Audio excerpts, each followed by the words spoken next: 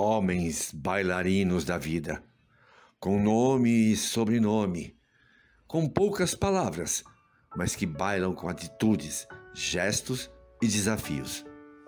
Homens sem medo de luz, homens que se entregam ao amor, na luminosidade de todo e seja qual for o sabor. Homem valente, homem que erra, homem que acerta, homem que não desperta, homem que se desespera, homem que não tem pressa.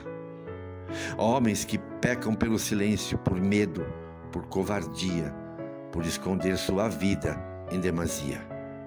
Homens que pecam por não ser por inteiro, por não ter coragem nem valentia, por não assumir o que guardam em seu coração e revelar a sua própria vida.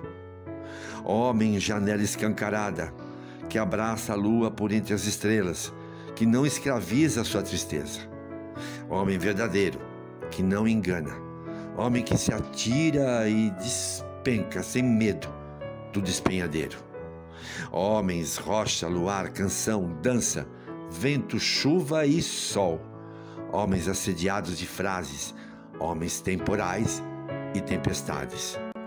Homem poeta, homem enigmático, homens de fato. Homens que amam, que não se acorrentam, que se entregam em corpos ensolarados, em bocas que se amam e que gozam, que acaricia, geme, encanta e mistifica, batem asas e se tornam anjos abençoados. Há muitos tipos de homens, mas existem homens que, quando se entregam por amor, tornam realidade o que era fantasia, se revelam, abandonam a dor. E magistralmente abençoados pelo cosmo, brilham na vida e nos céus em arco-íris, com nuances de violetas, lilazes e matizes.